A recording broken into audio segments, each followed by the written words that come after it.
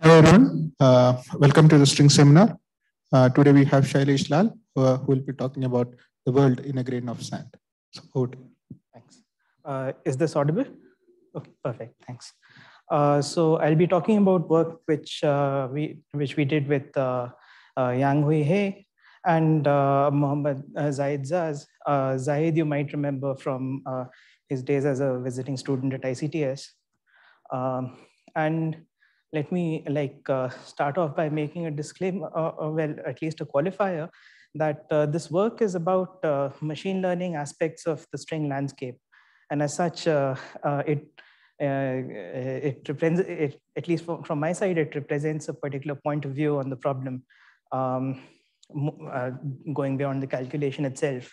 Now, the field is young and there are many different ways of thinking about this problem. And indeed, people are thinking about it in different ways.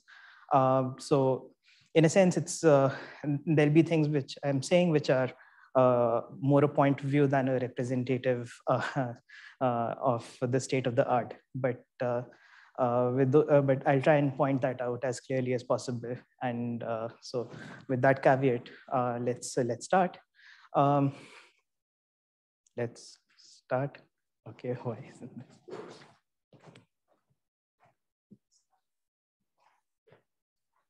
Oh, okay.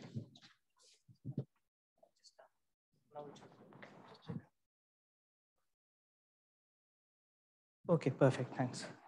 So uh, yeah, so uh, and one good one good place to start, uh, like um, uh, Julie Andrews taught us in the Sound of Music, is to start at the beginning.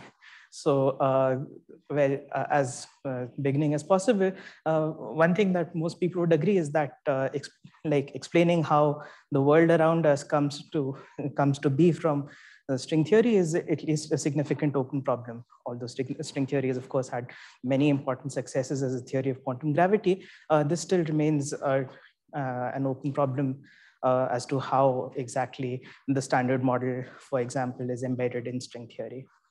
Uh, and uh, the typical paradigm, um, as string theory is again, uh, is defined in 10 dimensions. The typical paradigm is to do something uh, called compactification, where you kind of assume that in the remaining six dimensions are really tiny and rolled up. And uh, uh, that that's one aspect of it. The other aspect of it is, is, is that the physics and the four-dimensional approximate physics is essentially controlled by the topology and the geometry of the manifold you're compactifying on. And uh, that's uh, that's what uh, what will be kind of important for us, and that's why like algebraic geometry will give us such a nice microcosm of the string landscape, um, which we'll come to in a moment. Right. And then, uh, of course, the idea is that, you know, uh, well, to find the standard model in string theory, we should basically try to find what is the compactification that gives rise to the standard model. Great. So uh, one possible strategy, which uh, I've kind of written out as a straw man, is that uh, you could just start like, you know, it's a well-defined problem. You, you start uh, enumerating all the compactification manifolds and fluxes you could have and start solving for what is the corresponding four dimensional physics, like what are the light particles, what are their mass, what are uh, couplings, masses, whatever. And then you could compare with, you know, the standard model or more likely, you know, some, uh, some completion of the standard model, maybe not the MSSM these days, but yeah. And so, but uh, basically uh, at its heart, you know, no matter whether you're looking for the standard model or your favorite uh, low energy completion, um, the question is this, I mean, why don't you just like you know uh, scan every possibility until you find what you're looking for right and then uh, of course uh, this thing uh, is is one of those things which is kind of like of course uh, possible in principle but in practice it's uh, hindered by many many problems um, one is of course the large number of possibilities of what the compactification manifold could be i think the earliest estimate was 10 to the 500 more modern estimates are 10 to the 200,000 actually. So uh, no one is going to attempt a calculation like this. Uh, the second is uh, uh the difficulty, and I, I, mean that in a, in a technical sense, which I won't be able to explain, uh, but um, uh, the difficulty of doing even a single computation in this. And the third is the actual rarity of the standard model like vacuum. So for example, uh, these people, they actually searched for an MSSM in a particular class of compactifications and they were looking for the MSSM spectrum. And uh, as far as I remember, what they looked at is some 10,000 odd candidates and they found 200, uh, 200 quote unquote right answers. So like one difficulty on its own could be circumventable you could just work hard enough. Two would be uh, challenging, but three, all three together is basically just, just prohibitive. It's uh, even even uh, this computation, the 10,000 vacua that I talked about, I think it, uh, it ran on the computer and took a few months. And that kind of like seems to be the, uh, the recurring theme in these computations. It runs on a computer and it takes a few months. Um, and this, in a sense, is basically the landscape problem in string theory. These things put together, or at least like, you know, one very reductive view of the landscape problem. I'm not thinking about like, you know, some deep principle as to why, uh, you know, things could be the way they are right now uh, around us. I'm just saying that, you know, it's a reductive way of stating it that, you know, you have so many uh, possible options. Why don't you just look uh, and see which is the right one? And that is actually hindered by many uh, like practical difficulties. right So uh, here's the idea that you know people have uh, have been kind of working on. It was uh, sparked off by, um, basically three different uh, groups that were working on the uh, well related problems at the same time, um, and the idea was that you know in a sense if you think about it, predict like if you have 10 to the 500 vacua and you're trying to like predict what is going to happen in a particular vacuum this is like a big data problem. It's uh, in one way it's not very different from asking you know uh, predict uh, you know given 10 to the 500 examples can you predict for me flight times or you know uh, what a particular face looks like and things like that yeah so basically the idea is this that you know uh, this looks like a big data problem. In fact, if you stare at the numbers, it's a big, it's a big data problem on the scale of, uh, you know, it, it goes orders of magnitude beyond even what is looked at in modern machine learning research. Um, so uh, the basic idea is this, that you basic, uh, that you uh, look at the patterns and heuristics in your data, and then you use those patterns and heuristics to kind of make predictions or inferences and whatnot. Uh, so, and of course, like as the volume of available data in our world uh, is increasing, uh, these kind of methods are playing an increasingly important role. And uh, what is important for us is that, um, especially in terms of methods like neural networks, um, it might be that the overall data that you have is just too large to comprehend at some human scale. And even in that case, uh, when uh, it's this still remains like a robust framework for working with data. So uh, this is the overall proposal of uh, like this machine learning uh, landscape uh, ideas, or at least one like you know a cartoon point of view that I've sketched out for you. That uh, you know your compactification parameters and the corresponding phenomenology are basically data. And then can you learn? Uh, can you use machine learning to learn this data? by which I mean that, you know, you, at least stated in one way, you take your compactification parameters and you learn to guess what the output should be. And then uh, hopefully then uh, uh, the best case scenario would be to learn which is the input that should give you the desired output. But in general, you can see that you know uh, the problem is much can be posed much more generally than searching for your favorite compactification or your pet UV completion of the standard model.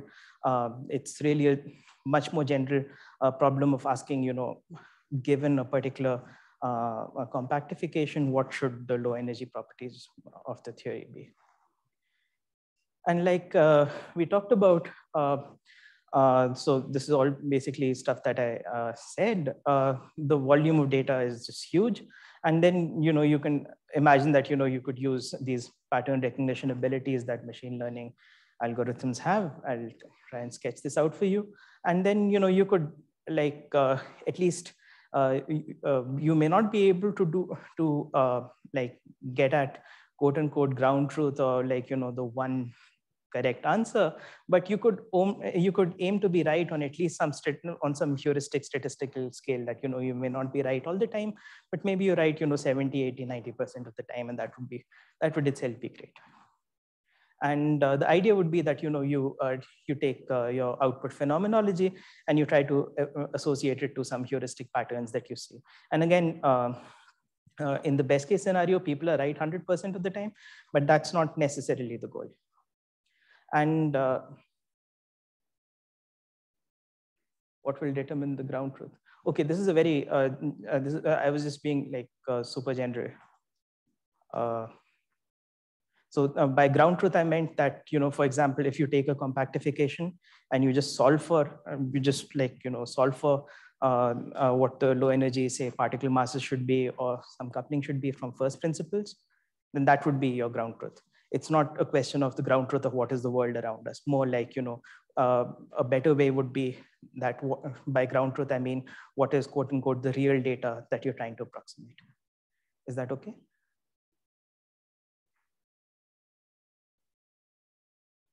Thanks. Thanks. So, uh, right.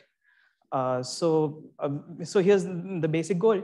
Uh, you know, you look at a compactification and um, like uh, you try to estimate its likelihood of giving you the standard model, but more in, more generally, you try to develop some coarse-grained approximation uh, expectations across the string landscape. Like, you know, uh, part of, or at least one reason why we have so uh, uh, at least a lot more control over quantum field theory than we did when we started out in the 1920s is that we do have these coarse grained exp uh, expectations. I mean, you know, we if if like you run through some computation and you find that you know your, uh, some two loop computation and suddenly your the mass of your electron is one kilogram, you, anyone would stop and think, right? And that's not necessarily because and not necessarily because of some uh, deep underlying reason. It's just because you know we kind of quote unquote know at a very instinctive level what these theories should behave like. Uh, right. So the idea is that you know uh, this is there's a completely uh, solved subset of data, at least at uh, the topological level, uh, which is a class of Calabi-Yau folds and four folds. And uh, so the idea would be that, you know, try and test these out uh, at some level for, uh, at, at, some, at some concrete level. Uh, and this has actually been done uh, for uh, a lot of work in this has been done, which kind of like motivates our work because we know that this is a particular setting in which the most idealized version of machine learning works very well. Um, and I'll be coming to what I mean by most idealized in a moment. But uh, you know, at least one order of magnitude estimate you can take away is that usually if you want to train a neural network, you might want about 90% of, or um, at least 80% of, of your available data. But uh, when we are looking at the string landscape, uh, we don't have 80% of the data. Right, so data. So this is the basic goal. You know, uh, at uh, in this heuristic, you have this one giant blob, which is all possible data that you could imagine about string theory uh, or the string landscape. And in that, some uh, like somewhere in that, there's a tiny little uh, microcosm which I have uh, like blown up to unimaginable extents. But this is the data that we kind of have at our hands. This is where we know what, what how um, uh, like a particular compactification behaves. Uh, so this is the data from which we wish to learn. And then uh, usually in practice, uh, you don't, you don't uh, just learn on everything and then you say, I have now I'm going to make predictions. You want to check how good your predictions are. So you keep a little bit as a holdout so that you learn on, learn on a little bit or learn on most of your data and then try to predict on the rest to see that, you know, um, you, to see how well you're doing. So yeah, and that's basically uh, that's basically what uh, I said in uh, while staring at that uh, uh, cartoon. Uh, is basically you train the model using your your training data. That's but you also keep aside some proxy for for your for for the data that you don't know. And then you try to estimate your model performance. And now you have a model to deploy and deploy. And you could say that ah i've solved uh, machine learning i've solved string theory using machine learning. I'm going to deploy it and you know find the standard model we'll start here and finish uh, in a couple of years Okay. But there's, there's a problem with that. Uh, the problem is this, that, uh, or at least one problem with that, with, uh, like, let me qualify that. There's a problem with naively taking, uh, taking that statement too seriously. Uh, there's, an, there's an assumption here, which is kind of very, very important actually. And it, it's a problem even in real world, like, you know, when people are trying to predict flight times and, you know, transit times and whatnot. Uh, it's that we kind of, when we do this, we are at least assuming that at some coarse grain level, all of these data subsets, you know, your train set, your test set, and your full data set, you know, what you know and don't know, they're all statistically the same. Uh, by which I mean that, you know, if you draw inferences from your training data and you check them on your test data, then it's perfectly valid to apply them directly to, uh, to, to all data and it'll work. But usually, I mean, we kind of um, this is a practical problem that occurs even in uh, like you know industrial applications or uh, less uh, uh less abstract applications that you know uh, you train a model and you, when you deploy it it doesn't really work as well as it should. And over time it starts to work worse and worse and it has to be retrained. And uh, the reason is this is basically this that you know we are trying to um, draw inferences on a small subset and then extrapolate to everything else but this is a, like a fraction of your data. And in our case, it's really like a tiny, tiny fraction. So, I mean, so just, just doing this might, might or might not work because of uh, like these three reasons. I mean, you know, it might have some special structures just by accident. Uh, and machine learning may learn those structures and try to predict on basis of that. And then because those structures are not available in more general data, um, it will not work. It may also learn from noise like you know uh, it might look at some noisy data and think that ah you know there's some deep structure underlying there. And then you kind of like you know you guard against this by evaluating on test data because uh, if it's if it's uh, learning on some idiosyncrasies of your training data most probably they're not there on your test data. If it's learning on some noise most probably that noise is not mimicked in the same way on your test data. So you will see it straight away or at least that's the hope but the bigger concern is this, that, you know, what if your trained data is actually not a good representation of the full data in some, you know, uh, some deep underlying way. And I won't show you a deep underlying way, but I'll show you a, shallow overlying way. so uh, here's, uh, uh, so here's this uh, Calabi-Yau data. Uh, it's basically a set of uh, Calabi-Yau manifolds, uh, uh, uh say C3. Uh, I'll define this in a moment, but the point is that, you know, it's characterized by some, sorry, this should be 7890, some, some 7900 odd topologies, which are associated to two Hodge numbers. And then if you try to, then if you try to plot out the, the distributions of these Hodge numbers, then you can see that it's very, very skewed and in general, like, you know, when, whenever we, uh, uh, at least I'm told by Yang, uh, that whenever we look at distributions uh, uh, of data more generally, we find this same skewed problem here. Right. So, so if now imagine that, you know, this is your proxy for the string landscape. So your the manifold and the data that determines um, a, a CICY manifold, I'll, I'll, show you in a moment what it is uh, that is the analog of your compactification data. And the output Hodge number is the analog of your phenomenology, what you wish, what you wish to learn, right? Now you might consider the following thought experiment. Like I told you that uh, CICY is your proxy for your string landscape. So now, and this is a, a setting where we actually know the full data set, so we can actually test out our ideas. So you could say that, okay, like uh, let's randomly sample some 10% of the data and then uh, see how good is this proxy. So uh, one very zeroth order question is that, you know, do all the H11 values appear in, uh, in the random sample that you've taken?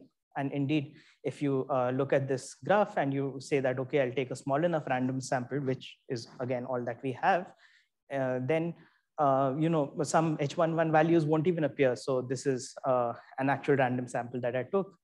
And if I, and the point is that, you know, if I learn from this random sample, uh, I won't even know that certain Hodge numbers exist. Right. So uh, if I if I learn from this data, then how well will I do when I'm extrapolating to uh, to the rest of the CICY manifolds? That's that's the question. Right. So uh, so again, like, you know, this is, uh, these are the concerns that we have. What if there isn't enough data? What if the data isn't representative of the available data, doesn't represent the overall landscape? And again, I mean, since we have solved only a tiny fraction of the string landscape, so we might, uh, as a conservative, uh, um, as a conservative estimate, we might say that, okay, probably it is true that we don't have representative data at hand. And there will be, as you know, uh, you know, when you, when you systematically start computing across the landscape, there will be things that surprise us. Uh, so what, what might you do at this point? One option could be that wait until you have 80% of your data. The other option could be um, to learn from minimal data, uh, extrapolate to unseen data, uh, and most importantly, have graceful failure modes. Because uh, if, if we are working in this regime, uh, then we might, we should expect to fail. But so, and in that, uh, in that case, all we can do is expect uh, is try to fail as as as gracefully as possible. So uh, on that inspiring note, let's uh, turn to the rest of the talk. So I'll tell you about machine learning, uh, an idea of similarity. And the idea is again, that, you know, try to, instead of trying to predict what a vacuum is, I mean, what, what, no, what it contains, you try to predict how similar is the vacuum to uh, previous vacua that you know of. And this is, in a sense, uh, a slightly different question, which goes a long way towards solving this. And I'll show you this in the context of cat and dog pictures. Uh, and uh, then I'll tell you about how uh, these, these ideas actually concretized in machine learning. And then, you know, uh, we'll close with the uh, example. Great. So this, this example is, I, I, believe it's from Feifei Li. Uh, and she gave this example, and she's one of the people who's done a lot of uh, the pioneering work on, on these kinds of ideas. And the idea is that, you know, draw you, you kind of draw inspiration and analogy from uh, how humans learn. So imagine that, you know, you're teaching a toddler uh, how to uh, train, uh, how to recognize different animals. you, you don't typically need to know what is, you don't need to show a toddler like 10,000 images. Um, I'm definitely not smarter than the average toddler. I didn't need 10,000 images, so you don't need this. Uh, so the point is, uh, so usually one or two images are actually enough. And uh, the idea is behind doing this is that you know your uh, when, whenever uh, the child sees new new images, then it tries to uh, associate these images to things that you know it's kind of like most similar to what it has seen before. And then, uh, so it might seem like a regular classification problem that, ah, you know, I've seen 10, 10 examples of uh, cats and 10 examples of dogs. And now I'll just classify into cats and dogs, but there's a small but subtle difference, which is important for us yeah so again now you have cats and dogs and you have these tiny sets of examples and what i'm uh, at least the example that Li has uh, what the uh, what the child is learning is not really like you know that this is a dog and this is a dog but in a sense what it is learning is an abstraction of that concept which is that these two images are the same in some way and these two images are the same in another way. So right and this, this kind of framework has, actually has many benefits which are very, uh, which can be very useful for us when we do landscape exploration. So firstly, uh, it's a robust framework, like what I said, that it should be robust even in the frame of limited data. So for example, if this is a bird, then um, uh, so is this. And you know, we have this on, on record from people uh, who first went and explored like, you know, uh, uh, say New Zealand or, what not from uh, Europe. And uh, you know, they found these weird birds and animals and all. But when people looked at a dodo or an ostrich, they didn't say, "I have no idea what this is." They said that I have never seen a bird like this. So at some instinctive level, they knew that they were looking at a bird. And again, they hadn't seen millions of sparrows.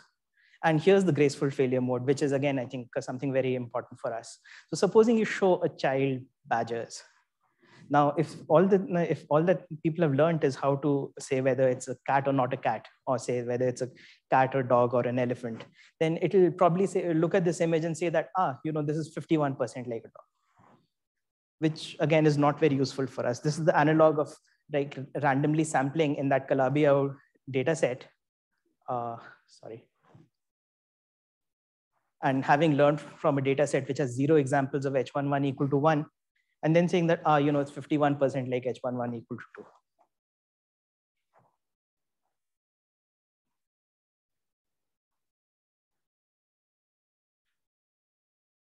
What can be more useful is that if you're learning for similarity, then what you're more likely to conclude, and again, these are like heuristic expectations, what you're more likely to conclude is that these guys, they are not very similar to cats and dogs, but they're at least similar to each other. So at least on some statistical scale, you might say that, ah, you know, I found something new which one might want to uh, look at right? So uh, this is this is what I mean by graceful failure mode. That uh, in in machine learning, this is called zero shot learning. That you know uh, a neural network or your whatever your machine learning framework uh, you're using learns to recognize objects from classes that it has never seen before while it was being trained. So th this is, I think, like you know something which uh, we should expect I, and this is why uh, you know this was one of the main motivations for our work that how do you work sorry, in, in, in limited uh, data and how do you work especially knowing that you know uh, when you try to extrapolate these ideas to the full landscape you will likely fail. So right. So here's the idea. I mean uh, at least one idea of why you know your uh, your data is much uh, is, is, is, why you know recasting classification as a similarity is a helpful idea.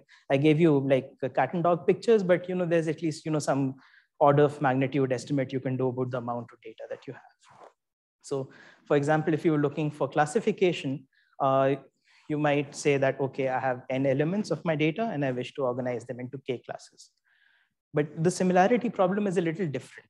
So uh, instead of uh, like, you know, organizing say X1 into C1 and X1 into C2, uh, what you're trying to say is that X1 is the same as X2 if C1 is equal to C2 and if and only if? So what this does is that, you know, rather than having this data of n elements being organized into k classes, you have a data set made of pairs of your original data. And now you only have two classes. So either they're similar or not. So you can see that you know the amount of data that you have. This this is a slightly misleading counting, uh, but okay, uh, you at least you might imagine that you have some n choose two elements, and uh, so the amount of available data is going up, and the number of classes going down. So uh, this is one reason why you know these uh, these frameworks are much less data hungry than uh, than usual machine learning, and also another reason why they are kind of able to to um, to uh, learn from one or two examples because at least if you have enough examples from some other class and the reason why uh, the thinly populated class elements are similar to each other is the same as the reason why those uh, numerous elements are similar to each other, you can transfer that learning. Great.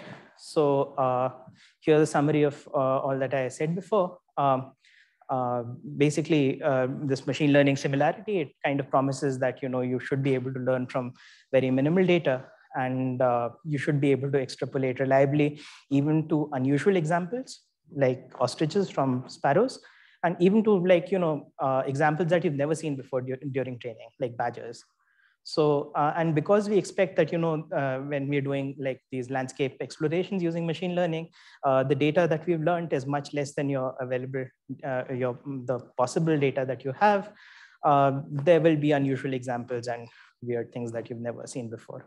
So um, that's the basic idea that, you know, uh, that's why this framework, which is somewhat different from usual uh, machine learning problems of classification and regression can be a very powerful uh, probe into the landscape. And uh, one of the most practical ways that we know which uh, works very well uh, is Siamese neural networks, which was developed by a bunch of people, including these. And uh, yeah.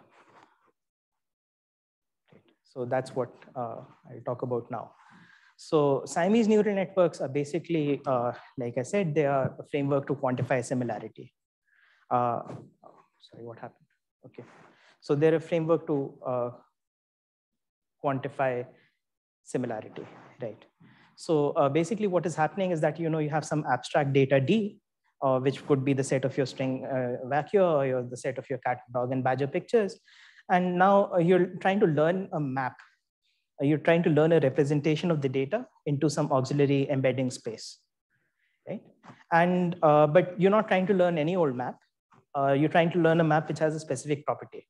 And the idea is that, you know, uh, the points that are similar to each other, so XA and XP in this picture, so it's, so this is called an anchor, which is kind of your reference image. positive because it's uh, P for positive because it's uh, like similar and N for negative because it's dissimilar. So your anchor and your positive, which are similar to each other, they should be mapped close together. And points that are dissimilar should be mapped far apart.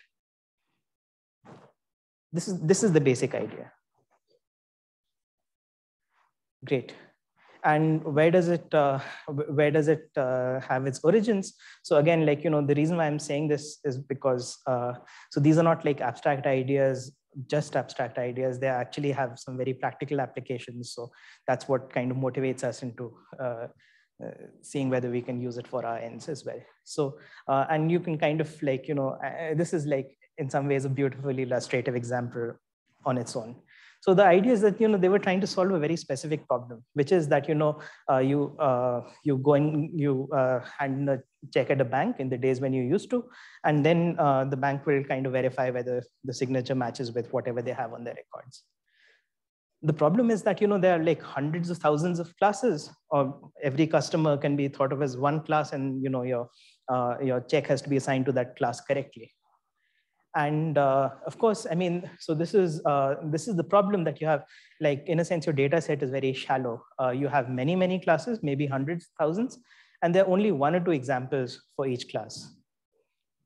And what is worse than that i mean even this you could try and live with is that new classes are always being added so every time you train a uh, train a neural network that can you know uh, uh, that can classify into a thousand uh, into a hundred thousand classes, by the time some um, maybe ten thousand people hopefully have already joined. So now your classifier is worse than useless because those will be like all those new people it will try to classify into uh, the previous uh, guys, right? But instead, you know what you could do is to try like you know train this Siamese network. And rather than you know uh, uh, like you know classifying this data it's trying to like compare whether the signature that you have on record is the same as the one that you have on the check. And then if the two signatures are similar then you just process the check.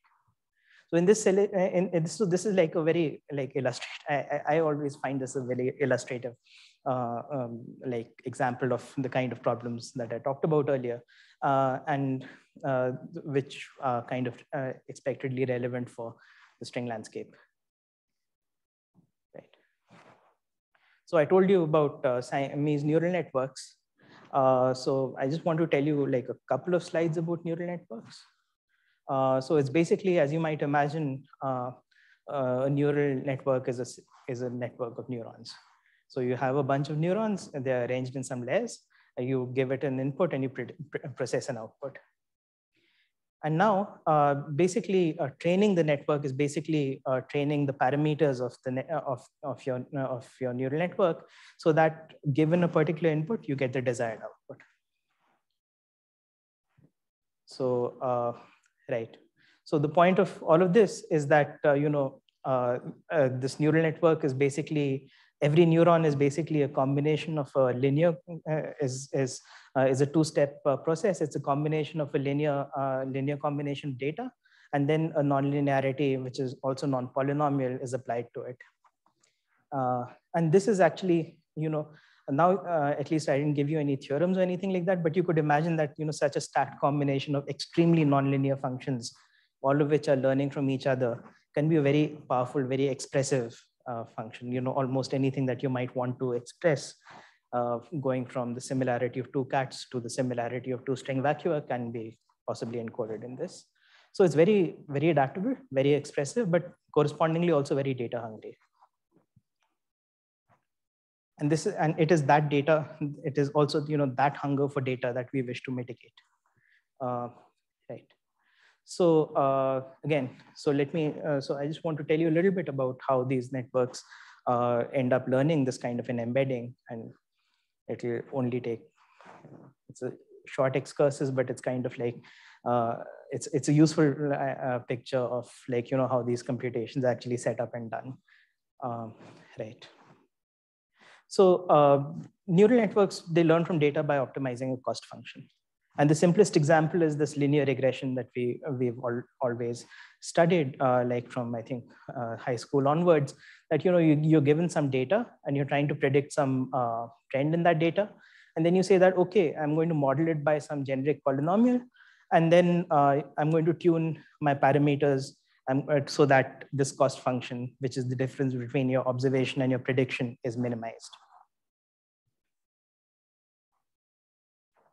So, and uh, again, I mean, this is kind of uh, a little repetitive, but it's useful when we think about Siamese networks um, uh, because I want to give you a sense of how they function. Uh, so to get intuition about uh, the effect of a particular loss function, uh, the best thing to do, at least what I find the best thing to do, is to imagine what would happen if the loss function were actually at its optimum. So this function would uh, be at its optimum if it was zero, and that would happen when all, the, uh, all your predictions were the same as your observations. So what this function actually tries to do is to try to encourage the neural network or whatever machine learning you're doing uh, to uh, reproduce all the data exactly.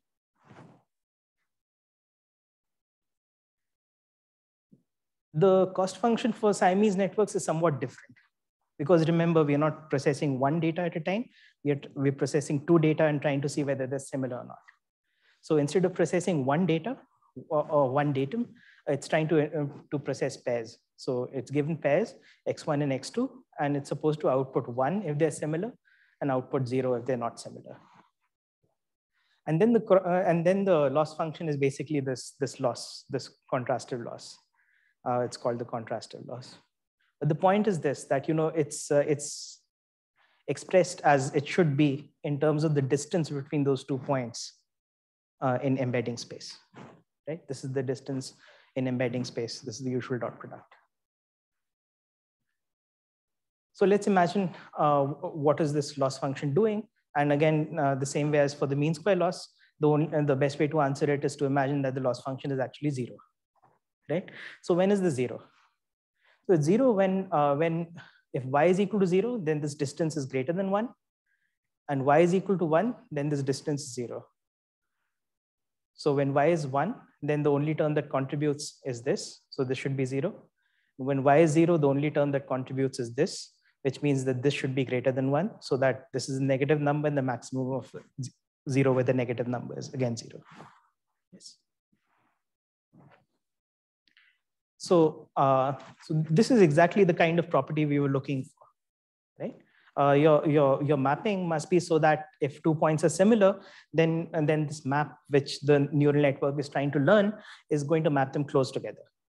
It may not, uh, again, map them exactly on top of each other, but at least in some, like I said, you're trying not to be right all the time, uh, but to be right in some coarse-grained sense. And if they're not similar, then uh, it'll map them far apart. So of course, now what, what this does is that your data set, which was maybe some point cloud, now has broken up into disjoint clusters. And every cluster is made up of data that are similar to each other. And of course, in this, you have to kind of specify what your criterion for similarity is. But most importantly, now the idea is, is very simple. Uh, uh, now when you're given new data, then you just act on that data with your map that you've learned. And then you see which cluster it is mapped to. And then from that, you try to infer what its properties are.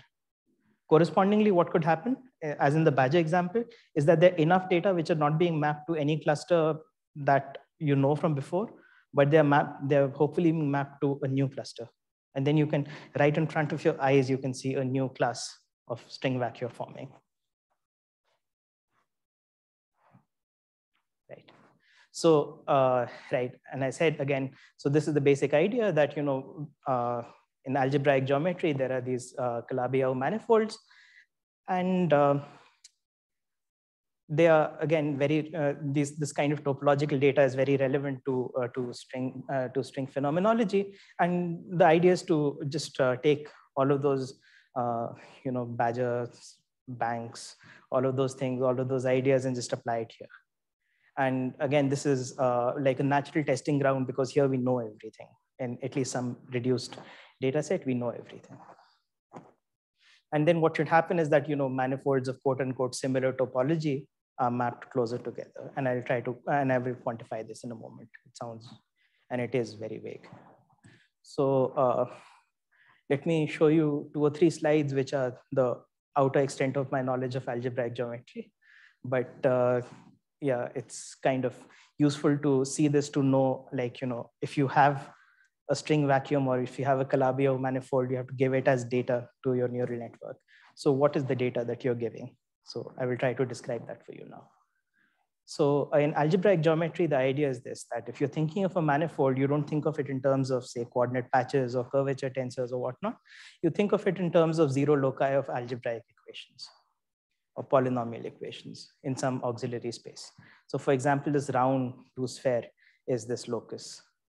And uh, as it should be, I mean, there's one real constraint and it's embedded in three dimensions. So you have a 2D manifold. The other important thing for us, because we're trying to learn in this uh, exercise, we're trying to learn to predict the topology, is that the degree of the, the polynomial completely encodes the topology. And again, I mean, I think the best way to see this is by example. So here's a sphere and here's an ellipsoid. And with some uh, things, uh, you can see that, you know, the coefficients of the polynomials are different, but topologically, they are the same object. So the upshot is this. We are going to try to represent uh, manifolds as polynomials in some embedding space, but we don't need to know the full polynomial, just the degree of the polynomial is enough. So here's an example of that. So those were real manifolds embedded in real space. Complex manifold embedded in complex space. So, uh, and because it's a compact manifold, we will embed in projector space so that, you know, we don't go everywhere. Right. So this is kind of like uh, what I'm assured is the simplest example. Uh, so you have P4 and uh, you have this locus of these, uh, uh this zero locus of this polynomial. So you have a four dimensional projective space and you have a degree five polynomial. And this is actually, uh, uh, this is a uh, Calabi-Yau threefold called the Fermat quintic. And you can write this as, you know, as a single integer five, which is, or you can also write this as four comma five or four slash five. So instead, like you can do more complicated things. Uh, so for example, you could go to five dimensions and again, you're trying to embed, um, you're trying to embed uh, uh, a three, a three complex dimension space, a, a manifold in that. So if you go to five dimensions, you could imagine that you have an intersection of two degree three polynomials or an intersection of degree four and degree two polynomials. And again, that should give you a, 3, a 3D complex manifold. So, and these are again all Calabi-Yau manifolds or all Calabi-Yau topologies. Right. But how is this Calabi-Yau? Um, so because you're looking at, uh, again, I'm, and I'm just quoting the results for you, uh, because you're looking at uh, zero loci of polynomials in Pn, the manifold is already Kähler. The Calabi-Yau condition is expressed in this difference that uh, this is basically the condition that the first Chern class vanishes if you go through everything. And it's threefold because of this difference. So three is four minus one. Yeah. So uh, you basically count the number of polynomials, that's the number of constraints, and then the dimension of your uh, embedding space. And that the difference between that is uh, the dimension of your Calabi-Yau. And that's why it's quote unquote complete intersection. So in general, uh, so this is how we give data to the neural network. Uh, in general, uh, it's not enough, or it's not, at least it's not the best choice always to consider just a single pro projector space, but you think of a product of projector spaces. And then you consider, again, like not one polynomial, but as we've already done, say some, n, uh, some k number of polynomials. And then you look at uh, the degrees of your polynomial pk in some along some projector space coordinates. And that basically gives you uh, your configuration matrix. And the idea is that, you know, using this configuration matrix, can you read off the Hodge numbers? And in general, this is a very difficult problem. And, uh, but this has actually been solved completely from first principle computations. So this will be our data for ML. And you, and this is where we'll try to like, you know, test out all of those ideas. Train, basically what we'll do is train a Siamese network on very, very small fractions of data and then see how well we do. And that will kind of be the, the test of these ideas. Right. And again, the, uh, the, the problem, the machine learning problem is this, that you have two Calabi-Yau topologies, Q1 and Q2, and they're similar. And I declare that they're similar if their H1 ones are the same. And this is again the same criteria of similarity that we had to begin with. And uh, again, we are training the Siamese network to learn this similarity. And uh, how do we give information to the network? So again, this is just for completeness. Uh, usually neural networks, they analyze uh, images by treating them as matrices. And then those matrices uh, you can act on by linear operations and then uh, apply non-linearities. Uh, we'll turn this around and then we'll say that, okay, you know, whatever works for, a, for, for an image, let's just try to get it to work for uh, just a general matrix or a Calabi-Yau Q matrix for us. And this was kind of, I think, the first people who did this were Yang and with Andre Lukas. And then um, Harold Erbin and Finotello, they have the current state of the art uh, results for this. So, and I said uh, that this data set is again highly disbalanced. And uh, so again, so H11 equal to 16, you can't even see on this, it actually appears only once, whereas H11 equal to seven appears some 1500 times. And one of the things to do is again to account for this disbalance. And so it turns out that, you know, the, the simplest thing that you could imagine that, you know, you could say that, ah, I should, the framework that I've set up should work on very little data.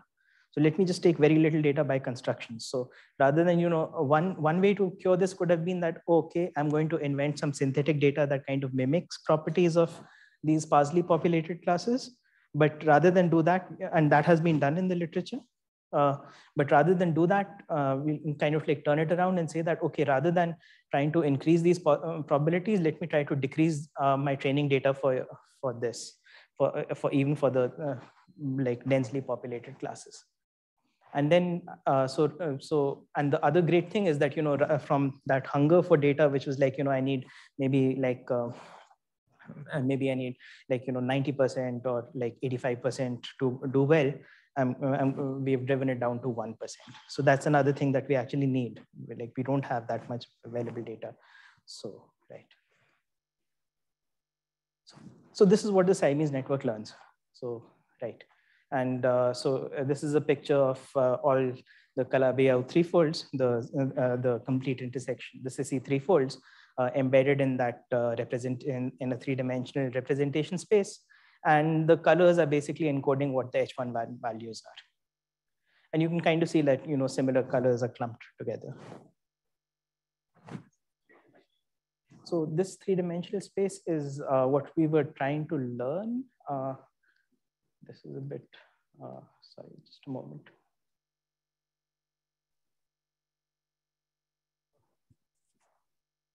So when we started out, started out, out, sorry, just. Yeah, so when we started out, we, we said that, you know, okay, what happened? Yeah, yeah. So we were going to map it to that uh, RD space. And so three was just chosen by uh, uh this work best. Like because it was three dimensional, we could uh, just visualize it in front of our eyes and it seemed to work. Uh, uh, I, I, mean, uh, usually people uh, choose higher dimensional spaces to map it to, but here three worked. And we didn't have to do like, you know, other funky things to then visualize excessively high dimensional data.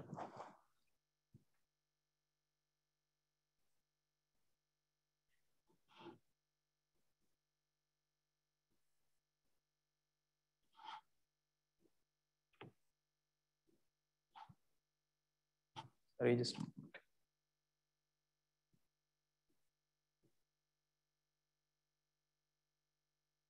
yeah. So uh, this is this is basically you know the realization of that cartoon that we had that you know we had some abstract color space of Calabi-Yau matrices and all of them are represented here clustered by the H11 values. Great. So as an application, so this is an application of the of this idea you, uh, like you know we had this overall framework that you know uh, we're going to see if we can predict topologies by asking which is the topology that we know that it is the most similar to. So and h11 was kind of like a proxy for uh, for phenomenology. Uh, so right. So we have this representation so that manifolds of the same h11 are likely very close together. But you can kind of like flip it around and you say that, okay, if the network is working properly, and we have reason to believe it is, uh, manifolds that are kind of like mapped close together should have the same H1. And then we can use that to predict for new manifolds what the H11 should be. So this is the basic idea. Uh, you uh, decide your topology, the topology of some unknown guy by looking at its neighbors. So you start with the manifolds whose uh, H11s you know, and you map them to your R3. Um, then you map every, uh, you map the new uh, manifold whose topology you wish to learn uh, or wish to guess by mapping it through the same network into R3. And then you look at its nearest neighbors. So in general, uh, like, you know, uh, this, you look at some K number of nearest neighbors. This number you have to kind of tune by seeing what works best. Um, and then you look at the Hodge numbers of the nearest neighbors. So I've kind of like reddened it out because uh, this is actually the name of the algorithm. It's k nearest neighbors classification. And then you, and then it's just simple voting. You just vote amongst that.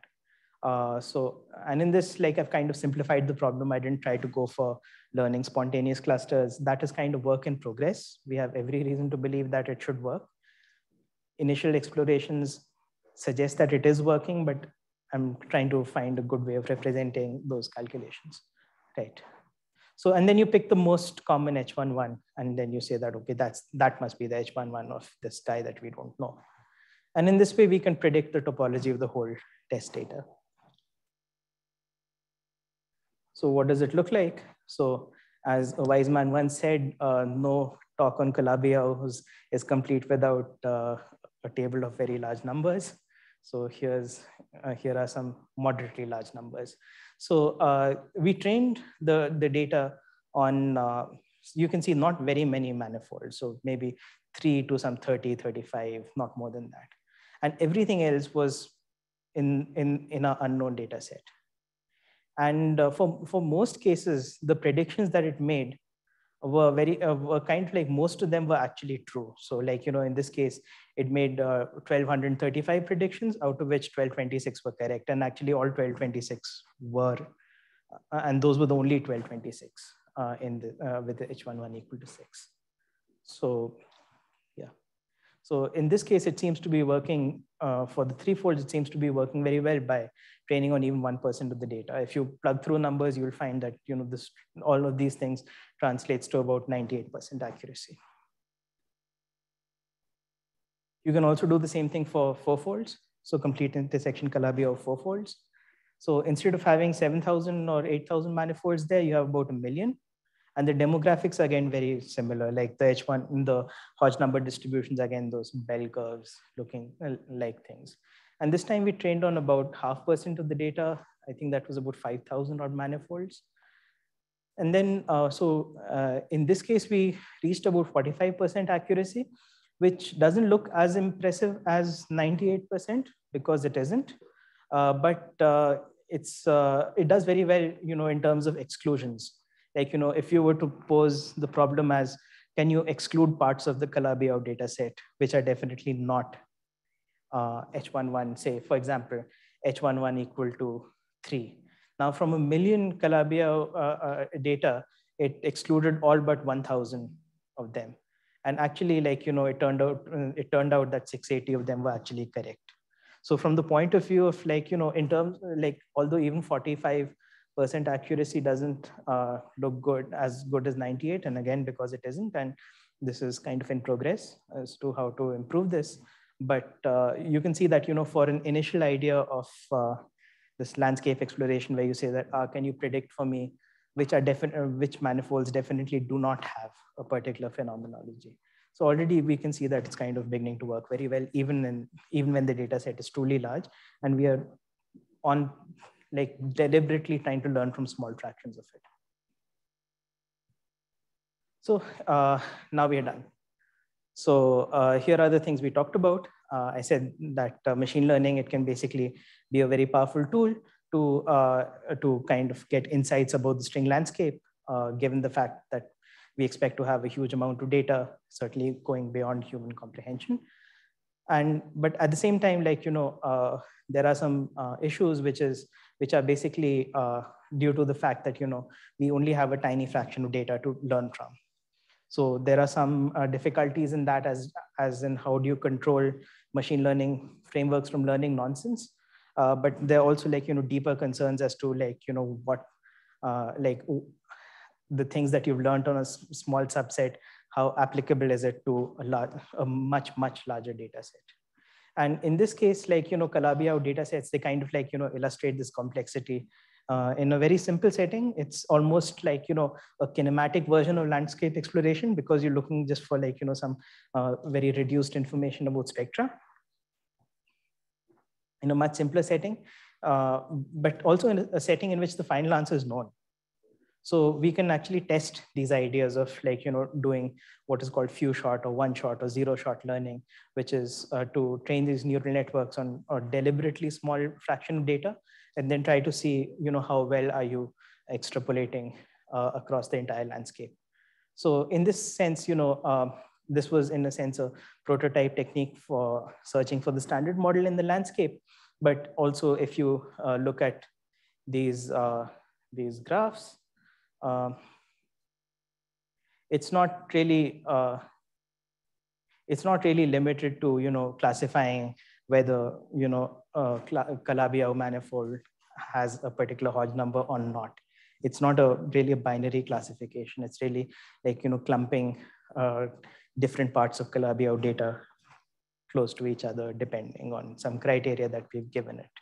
So in that sense, you know, it's uh, probably and hopefully, uh, at least hopefully, um, very tuned to answering uh, what I think is a much richer question than you know an obsessive hunt for one particular compactification, which is to answer like you know what uh, uh, which we kind of like pointed out as to what is a coarse-grained expectation of phenomenal string vacuum phenomenology. Like you know if you give it a, if you take a particular vacuum what can you expect from it?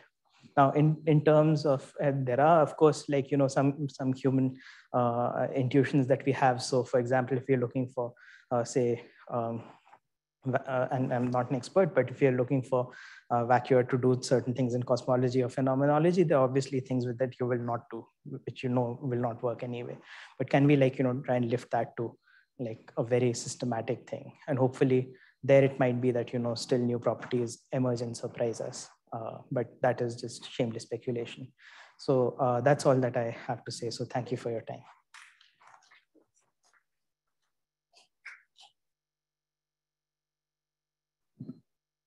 Uh, thanks, Shailesh, for the talk. Uh, there are any more questions? Yeah, I have one question. Uh, which is that I mean, has it so far been applied to learn something new? Um, not not this in particular. Like this is not this idea in particular, uh, or, or, or this uh, scheme of doing things. There are uh, there's a different framework called reinforcement learning, in which people have used to construct a genuinely new vacua for for string uh, uh, uh, for D-brane configurations. So that is one place where, but yeah, that that I didn't talk about here. But this, I think, right now, it hasn't, as far as I know, known, know, been used to apply to learn something new. I believe there was some work, uh, but again, this is like going far beyond what I know about like developing some conjectures for Calabi-Yau manifolds using machine learning, and they did develop them. But again, that's like far beyond my uh, knowledge. So these use some more general class of Calabi-Yau for which not everything is known. Is that the uh, point? Uh, uh, so I, I don't know about that that that particular work uh, about proving uh, like about proving those conjectures. so e even in this case, it it it means there is a much larger data set of Calabi-Yau threefolds where you kind of remove the complete intersection condition and that data set is about 10 to the 9 in size. So it, it's really much, much bigger than any of these. In fact, it's much bigger than uh, most modern uh, machine learning data sets.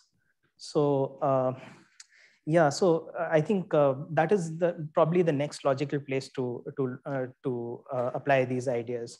But again, that would be a setting where you already know the answer and you're trying to see how well you can do. Yeah. So in the, the cases where you said there are some new results, right? I mean, there you work with a data set for which not everything is known. Is that the point? Uh, the cases uh, for which there are new results, uh, you mean the reinforcement learning, the new Yeah, yeah. No, so that I, I believe what they're trying to do is uh, uh, basically take, the D-brane configuration and then try to guess what it's uh, or, or learn using some uh, some different really different techniques of machine learning learn what the vacuum solution should look like. So that is something totally different. I think but then i think uh, uh, there probably once you have the result then you can go back and check whether you've done it correctly or not. Okay. Okay thank you so uh, even in this uh, uh, complete intersection calabi-Yau that you studied, uh, uh, are uh, other data like the triple intersection numbers? Yes. are they within reach and can one? Yeah, I don't yeah, think yeah. they are all. Firstly, are they computed? yes. So for the CC3s, at least, I think the triple intersection numbers are known. Uh, I think it should be possible. Uh, I'm trying it. Uh, there are aspects of it which are a little bit more difficult because usually the triple intersection numbers, you even have to predict how many there are right, for a manifold. So even, even that, uh, I, I, as far as I know, there is no regular uh, rule. There are some, I mean, there are some. You mean how many non-zero ones? Uh, because it's uh, the CIJK, the IJK are indexed by oh, the yeah, yeah, yeah, yeah. by the H11. So once you know the H11, you know uh, there would be uh, at most uh, right, so right. many H11. Yeah, I mean, yeah, it's a So, symmetric. uh, yeah, but I, yeah, I think it's definitely within reach. Yes. There are other topological quantities, I guess, like Chern classes and all, but they are just you can read them off from the configuration matrix. Uh, you just have to take some particular sums. So. But in that case, I guess you have to train for each H11 separately or no? Uh, or you first take all the H11 for some fixed value of H11. So for Yeah. it, there are the same number of So, intersection number. Yeah, I mean, uh, yeah, I, I, we probably have to see uh, what is the best way of doing it because we also have to balance it off uh, against the constraint of having or not having enough data. Um, there is, I mean, uh, like on purpose, I didn't really talk about, say, for example, H21, where the same same uh, same uh, methods work um, uh, much worse. Actually, they go up to about like around 30, 40% accuracy, but not more. Uh, but even in that case, uh, like uh, I, just mentioned it because of what you pointed out. Uh, even that in, in, that case, I think it was uh, Erbin and Finotello. They kind of did a more systematic analysis of the data set, and they found that if you know the H11, it's much easier to predict the H21s. So it could well be possible that you know even if you don't fix the H11 to begin with and say that I will work in the reduced set, uh, you take the manifold and like instead of predicting, uh, say, just the triple intersection number by itself, you, uh, by, from the configuration matrix itself, you also give it uh, the H11 to help it learn. It could be possible that you need to do that, but I'm not, without, yeah, I mean, without doing the actual computation, it's very hard to say what will work and what won't. In the point, is, if you don't give H11, then even the number of the outputs is not clear, right? I mean, it's, yeah, exactly. That's what I was saying. Yes. Yeah. So, uh, yeah, I mean, yeah, but there are also um, uh, there, are, there there could be like you know ways to kind of like get around that problem of you could uh, again and you could try to say that okay let me first predict the number of outputs. Let me then try to like you know uh, then there are like you know very very machine learning techniques like if you have uh, matrices of a different size. So for example, this is another thing I didn't talk about. Uh, the Calabi-Yau configuration matrices are all of different size. So how do you pr process that into a uniformly sized input for uh, uh, for the neural network? So there are some methods and all for doing that. I mean, uh, so uh, one could try to do that kind of like in reverse, like predict a uniformly sized output and then say that uh, can I also uh, predict what the size of the output should have been and then downscale back to that?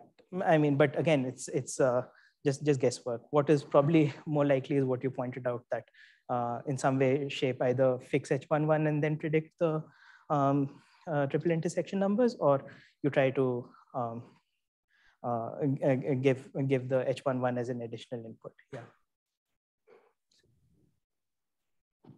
Yeah, in that case, there is also this, uh, you have to probably pick some good basis in the H11 uh, because uh, how you label the different uh, uh, two cycles will be important. And I mean, CIJK works, makes sense in a particular basis. So, uh, so whether there is some basis might be right. better or easier. Or... Yeah, that, that might play a role.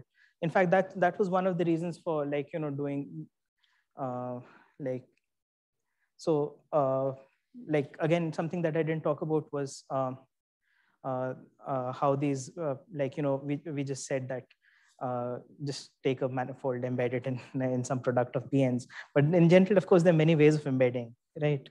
And uh, some some ways are just better than others. So e even that kind of like plays a role in even in the practical computations like um, well uh, the ab initio computations let me say and even in how well you do machine learning like you know how uh, how you have chosen to embed.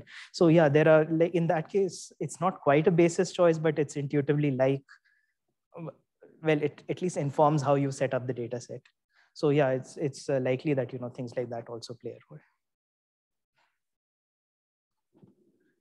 So in order to take into account this skewness of uh, of the plots uh, uh, uh of the H11. So oh yeah, so uh, that was basically like, you know, um, uh, by saying that since the framework doesn't need a lot of data to work with, then I just picked some minimal no number of examples from itself.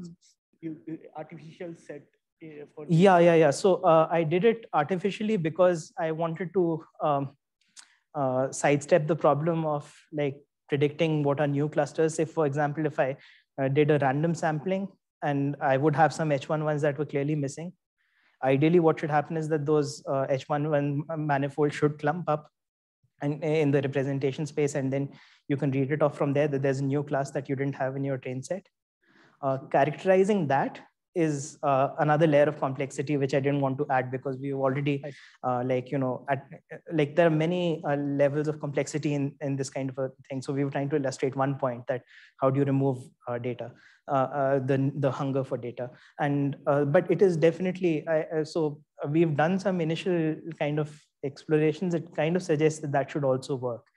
That even if you randomly sample and you end up in some missing values of Hodge numbers, it should uh, cluster properly and you should be able to read. But in the tables which you showed, the true uh, true value and the predicted value are still a bit different. Right? Oh, so it's not so it's not difference between true and predicted values. It's more like it's it's like how many manifolds have that particular value.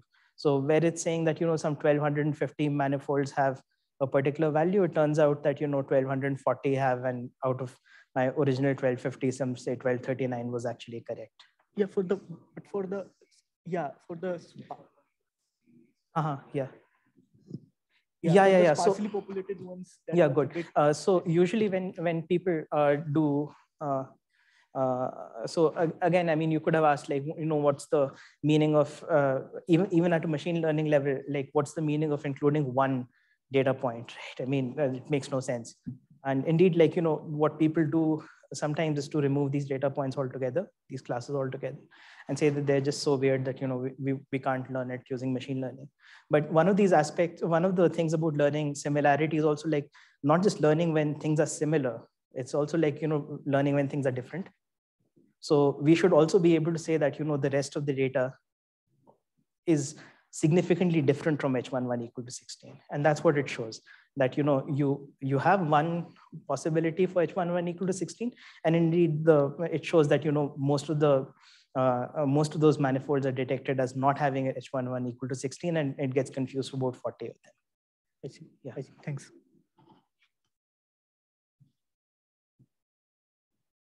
I think there is a question in the chat also if uh,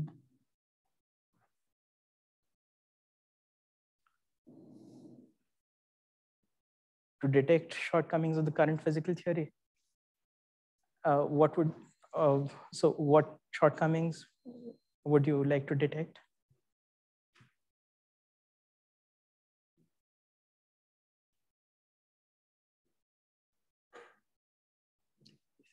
Left, I think. Okay, yeah. I think he has left.